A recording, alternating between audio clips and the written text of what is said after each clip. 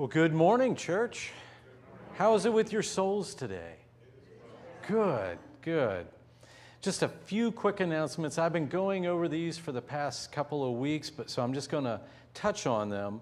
Uh, next Sunday, Dwell Orphan Care will be here from 3 to 6 o'clock.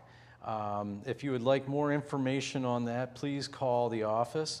Um, Sally will be getting, be beginning a new Bible study on October 6th. That's Wednesdays uh, at 1 o'clock. If you want more information, call Sally. Good and Plenty Meals starting on October 6th as well. So if you have any questions about that or you would like to volunteer to help, call Betsy. And the home communion team is looking for more volunteers to, to go out and bring the blessing of the bread and cup to those who can't get out.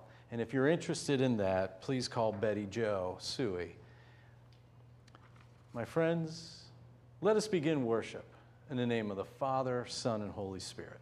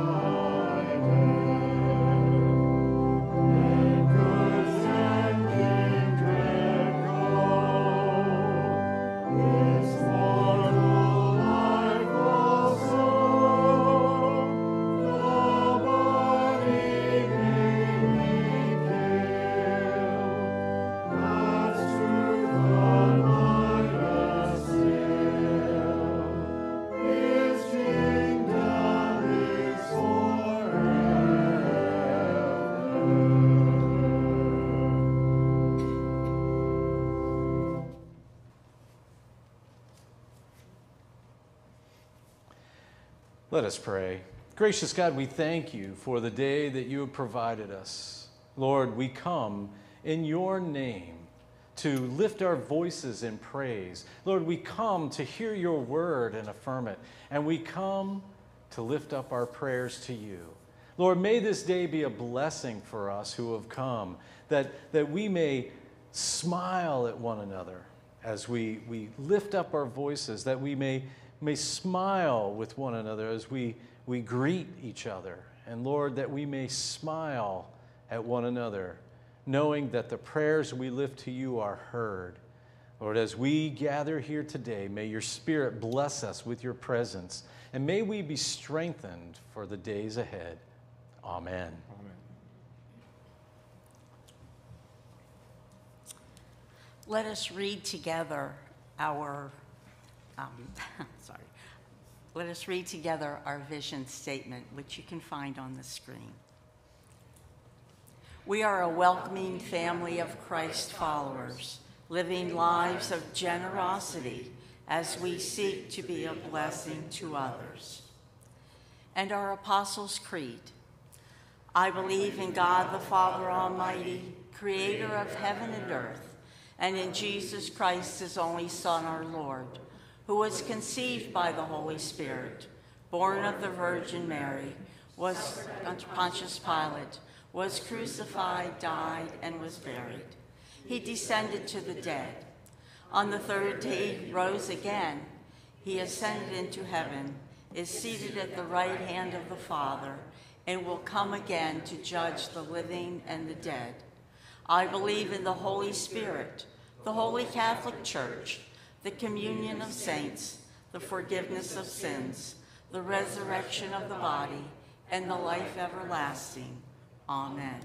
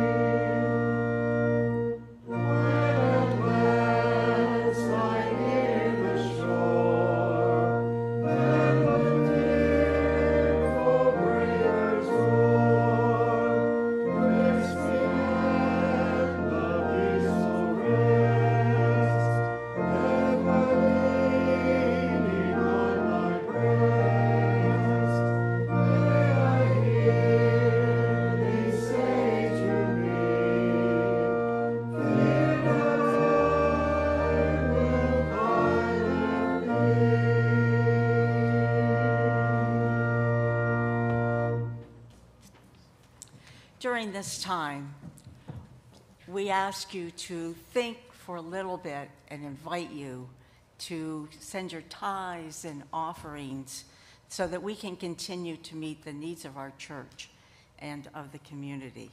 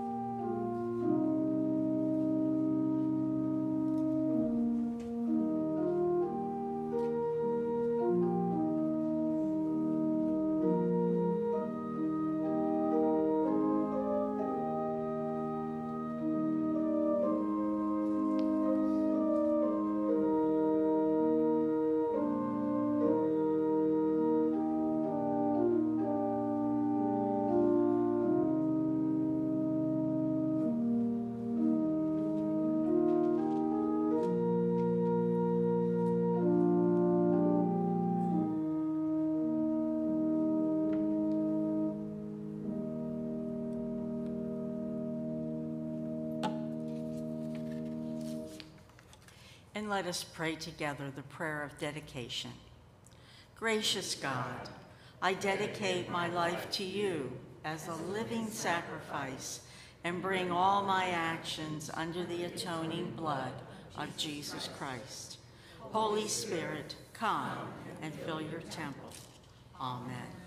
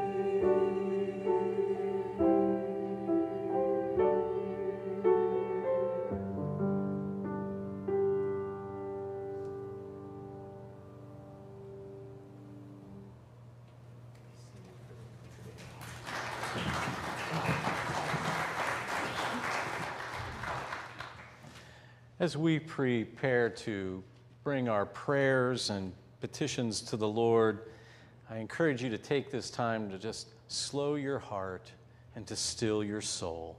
Would you join me in our prayer hymn?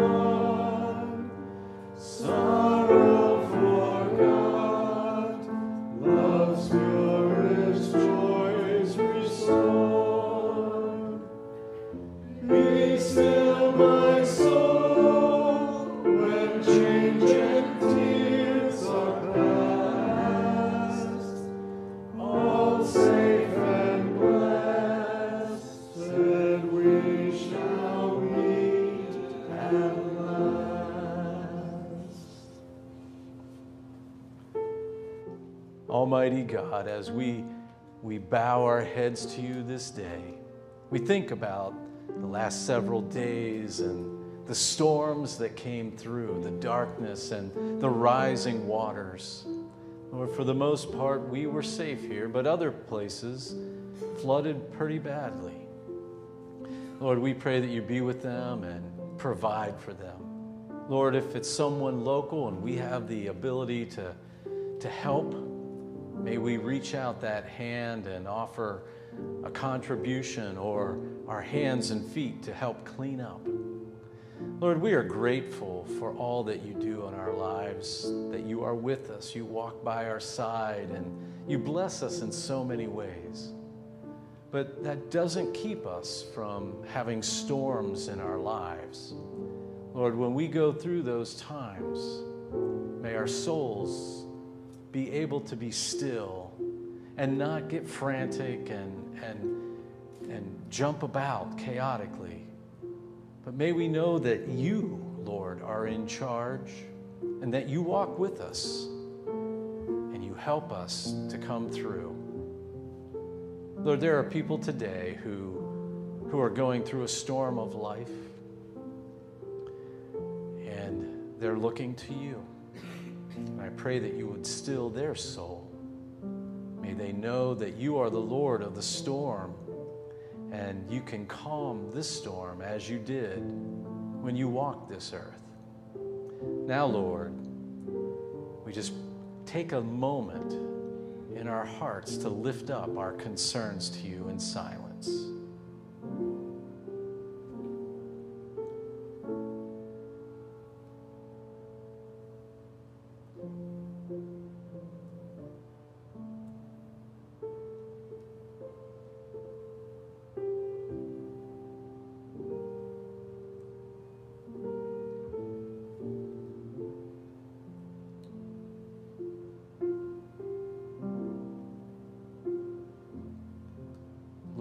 Conclude our petition to you by saying the, the prayer that you taught us Our Father, who art in heaven, hallowed be thy name. Thy kingdom come, thy will be done on earth as it is in heaven. Give us this day our daily bread, and forgive us of our trespasses as we forgive those who trespass against us lead us not into temptation, but deliver us from evil. For thine is the kingdom, and the power, and the glory forever. Amen.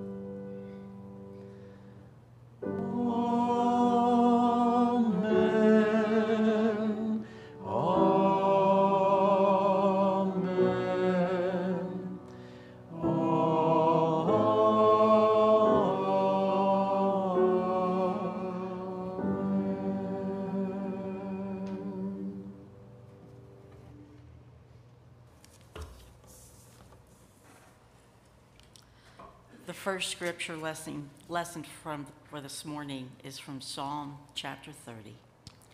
I will extol you, O Lord, for you have drawn me up and did not let my foes rejoice over me.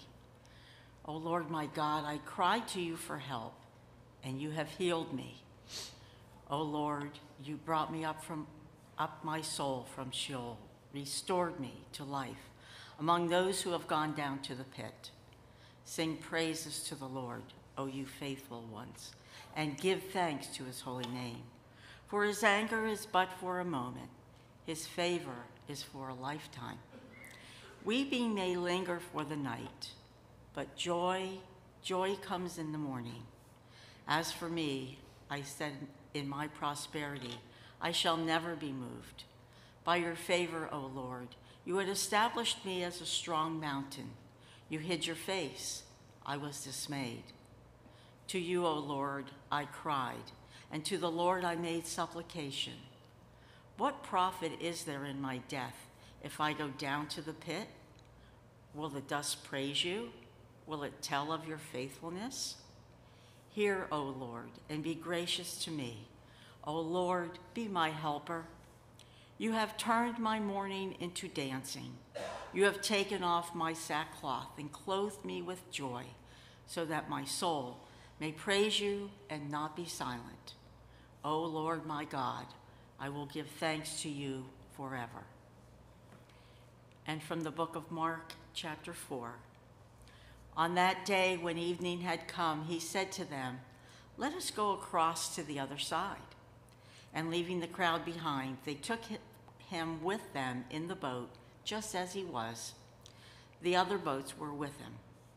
The great, a great windstorm arose, and the waves beat into the boat, so that the boat was already being swamped.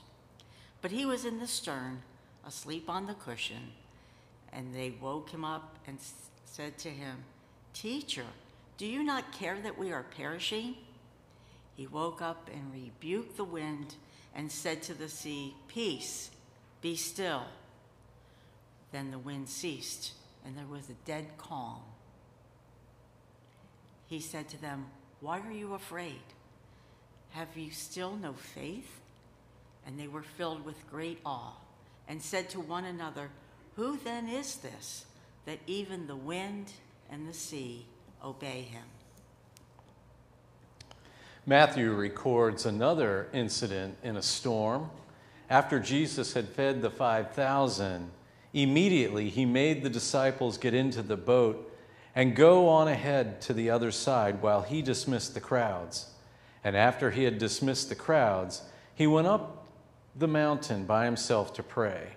When evening came, he was there alone. But by this time, the boat, battered by the waves, was far from the land, for the wind was against them. And early in the morning, he came walking toward them on the sea. But when the disciples saw him walking on the sea, they were terrified, saying, It's a ghost! And they cried out in fear. But immediately Jesus spoke to them and said, Take heart, it is I. Do not be afraid. Peter answered him, Lord, if it is you, command me to come to you on the water. He said, Come. So Peter got out of the boat, started walking on the water, and came toward Jesus. But then he noticed the strong wind. He became frightened and beginning to sink, he cried out, Lord, save me. Jesus immediately reached out his hand and caught him, saying to him, You of little faith, why did you doubt? When they got into the boat, the wind ceased, and those in the boat worshiped him, saying, Truly, you are the Son of God. This is the word of God for the people of God. Thanks be to. Thy word is a lamp unto my feet and a light unto my path. Thy word is a lamp unto my feet and a light unto my path.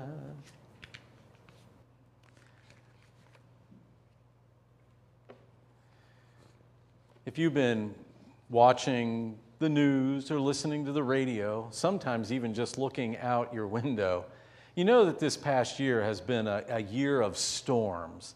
There have been thunderstorms, there have been rainstorms, the rivers have risen, there have been floods, there have been tornadoes, even here in, in Pennsylvania, and, and there have been forest fires out west, there have been earthquakes, there's been all kinds of storms this year.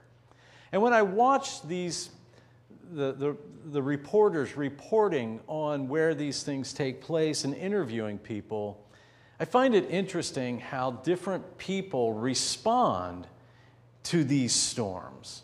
There are some people who become totally overwhelmed and they can't see how they're ever going to overcome this situation. It's almost like they died.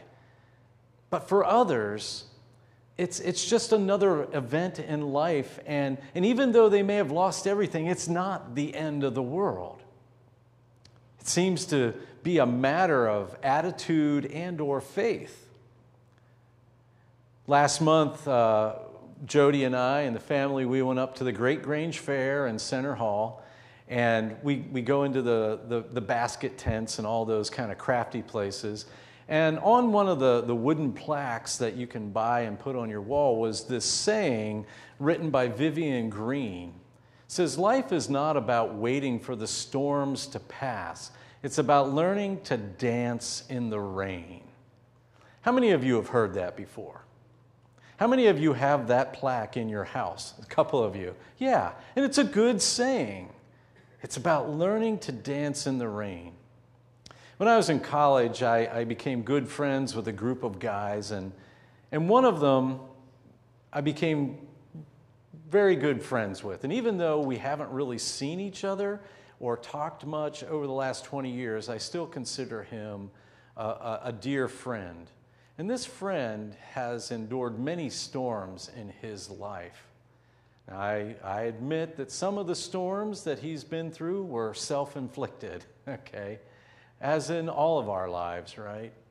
But he, he's made some poor decisions which resulted in some tough times for him. But what always amazed me about him was his ability not to let it get him down, his ability to just dance in the rain of the storms of life. I mean, he danced whenever he lost his scholarship, his Penn State wrestling scholarship. He danced whenever he totaled his father's truck. He danced when he had to do a little community service. I remember as seniors of our final year at Penn State in landscape architecture, our whole grade for that whole year was based on one project that we started through. So we went through two semesters, one project, and it came down to this you either passed or failed. You either graduated or you didn't.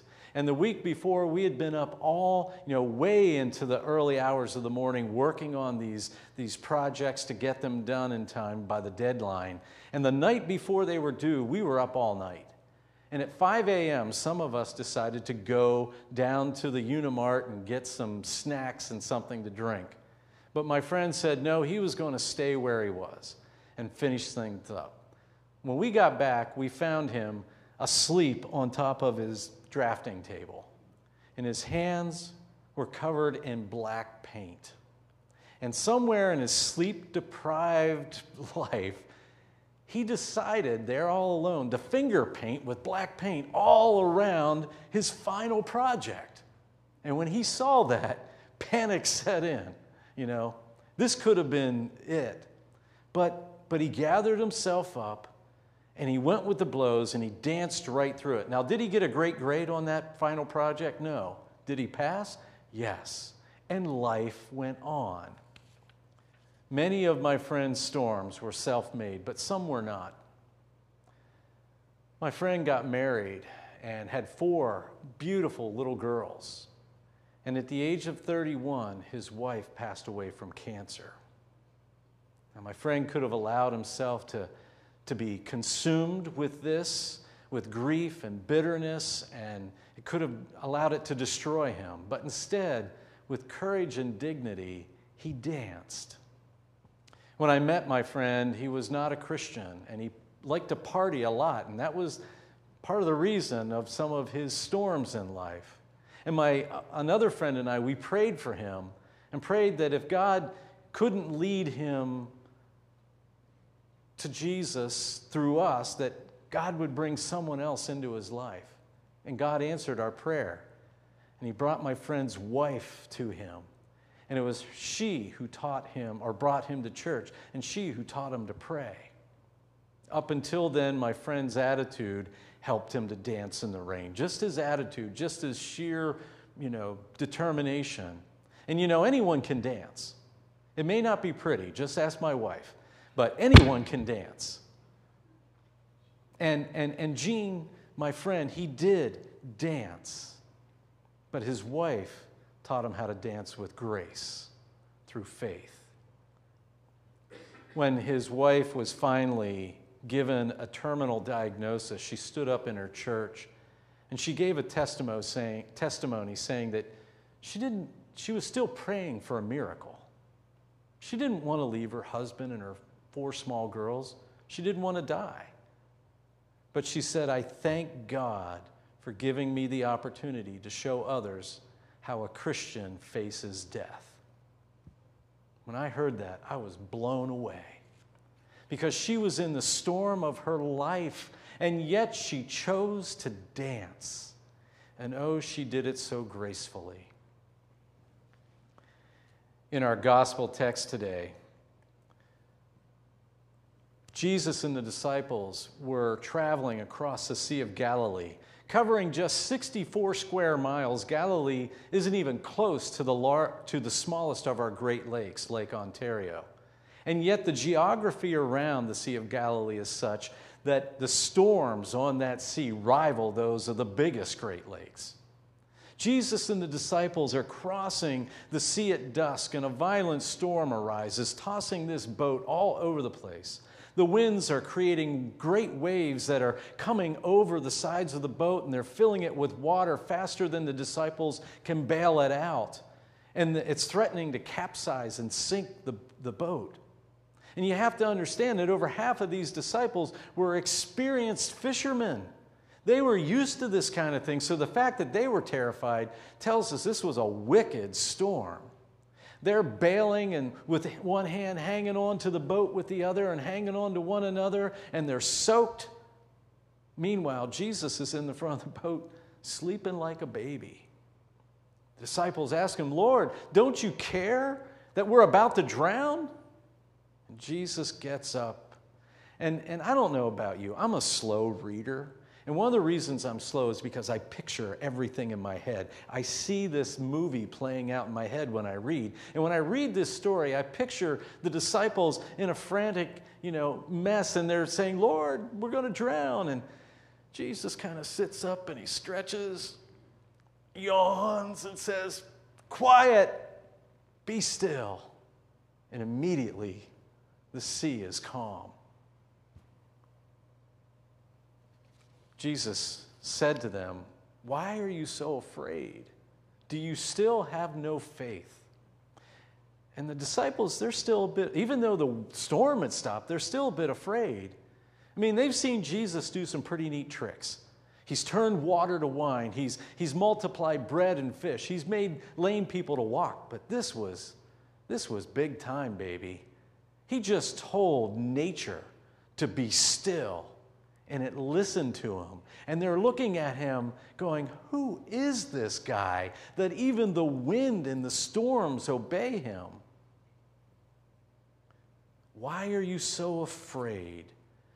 Do you still have no faith? Faith. That's what it comes down to, isn't it? Anyone can dance. But faith helps us to do it courageously and gracefully. And for those of us who, who, who never dance, for those of us who the glass is always half empty, the, the tank is always on E, the world is always out to get us, faith may be that one thing that gives us enough courage to just step on to the dance floor.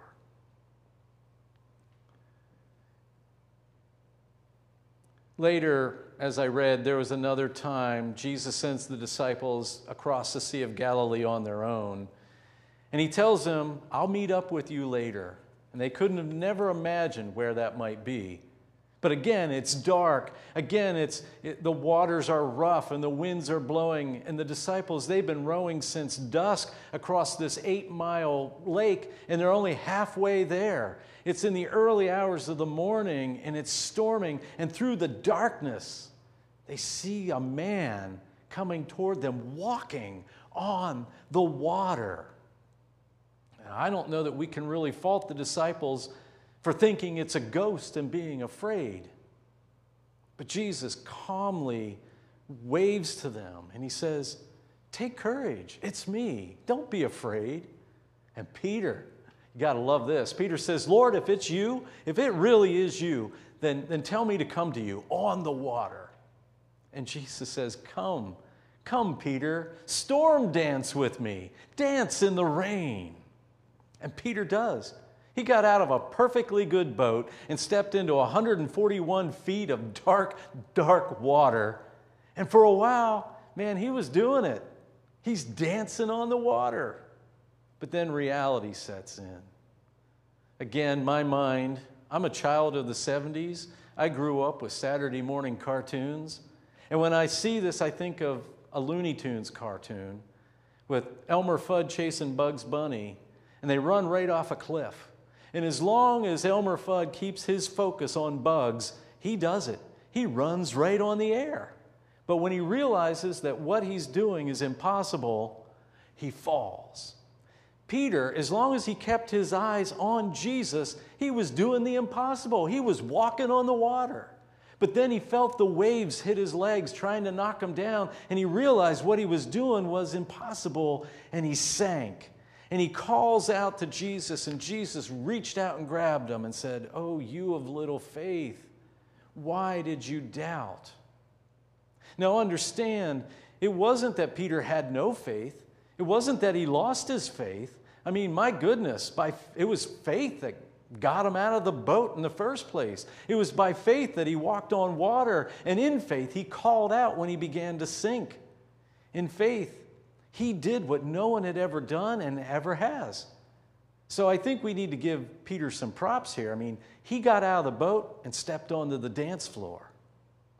But he doubted that Jesus could, could do the, could, could continue to do the difficult.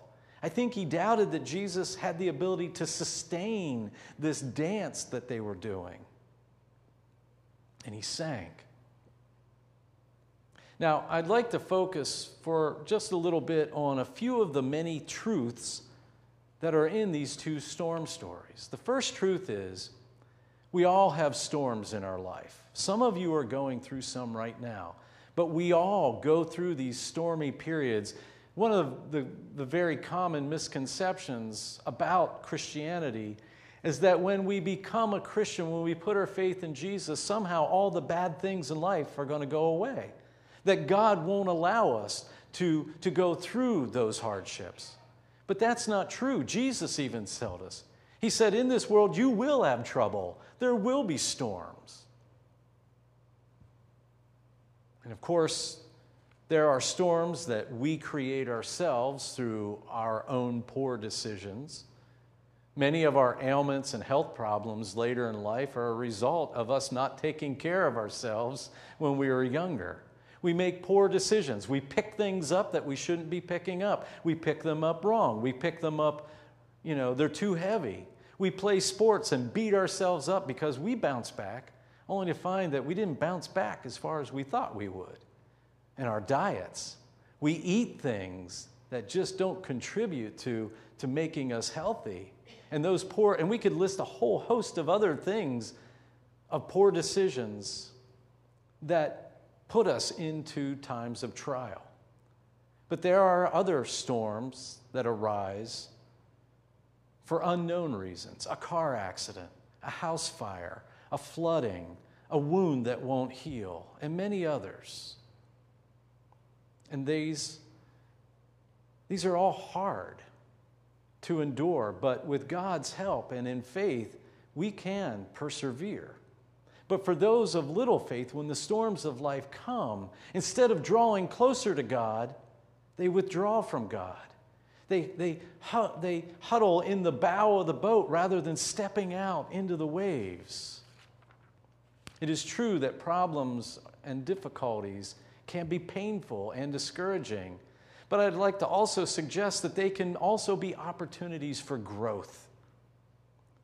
James chapter 1, he tells us, Consider it pure joy, pure joy, whenever you face trials of many kinds because you know that in the testing of your faith, it produces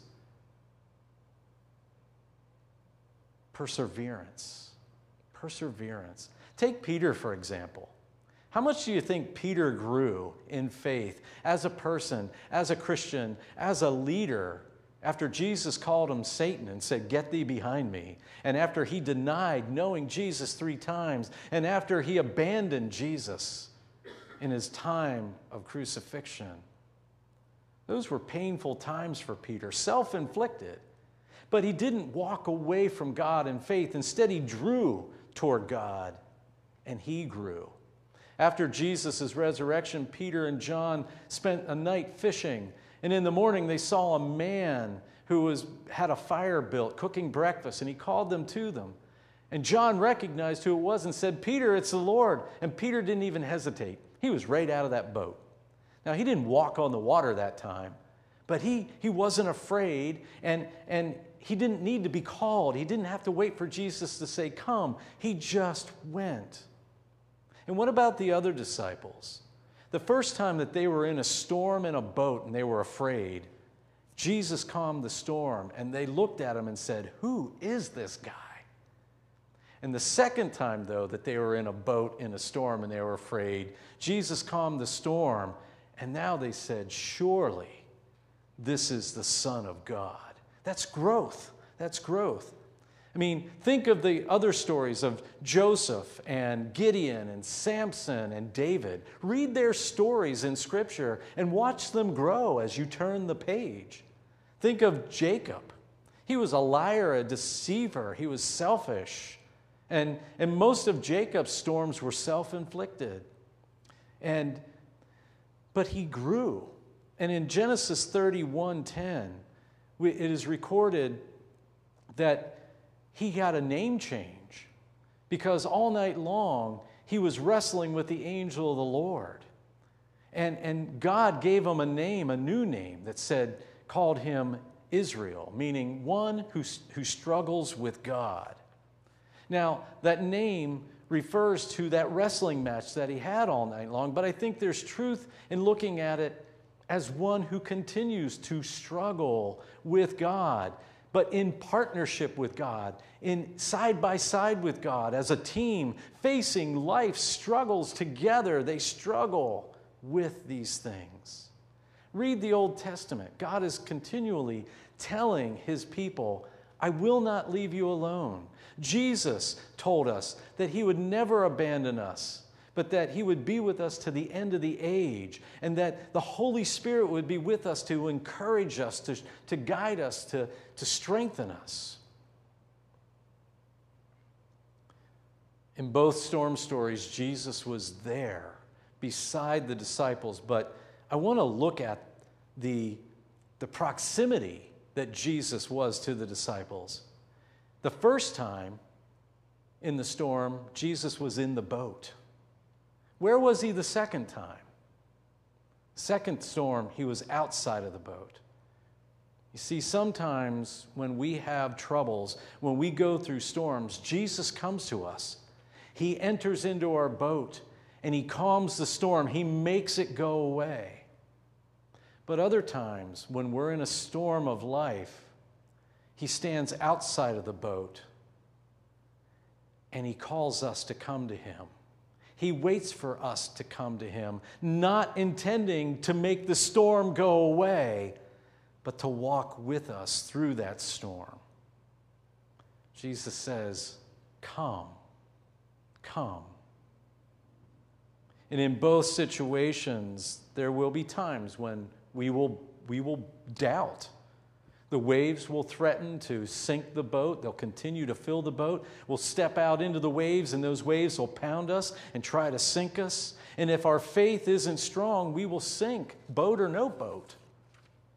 However, also in both cases, when we call out, Lord, save us, Jesus does because he never leaves us. He walks through the storms of life with us. So there's a lot about our attitude and our faith and how we look at these storms. And I'd like to share with you a, a poem written by B.J. Gallagher. It's called Weather Report. Any day I'm vertical is a good day. That's what I always say. If you ask me, How are you? I'll answer great, because in saying so, it makes it so. When life gives me dark clouds and rain, I appreciate the moisture that brings a soft curl to my hair. When life gives me sunshine, I gratefully turn my face up to feel the warmth on my cheeks. When life brings fog, I hug my sweater around me and give thanks for the cool shroud of mystery that makes the familiar seem different and intriguing. When life brings snow, I dash outside to catch the first flake on my tongue, relishing the icy miracle that is a snowflake. Life's events and experiences are like the weather. They come and go, no matter what my preference. So, what the heck?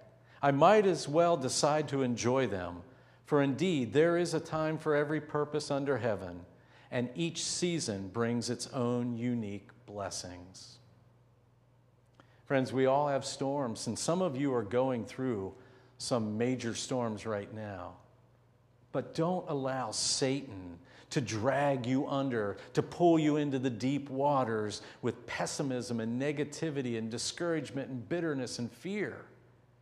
Instead, look for the positives in these things. When it snows, go out and grab some in your mouth. When it's foggy, hug the sweater and give thanks that you you have this warmth. Look for the opportunities, opportunities to grow. In other words, ask Jesus to teach you how to dance in the rain. Amen? Amen. Let us pray. Gracious God, we thank you for your word today and these stories that were recorded of people in a literal storm. And yet you you calm them because you are the master and creator of all things. And the storm had to listen to you. Well, Lord, we go through storms ourselves physical storms, emotional storms, health storms. But you, you can control those as well.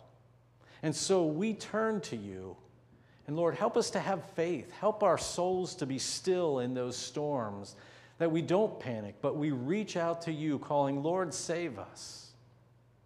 And you will either get in the boat with us and make it go away, or you will call us to step out into the waves and the wind, and you will walk with us through it. Either way, Lord, may our faith be strong, and may we, we exemplify that to the people around us, that they may see how we endure with a calm heart and knowing that, that you are in charge. So help us today to be of that kind of faith. Help us to dance in the rain. Amen.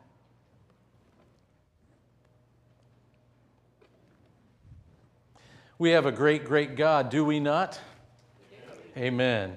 And I invite you to stand and join us as we sing our praises to the Lord of the dance.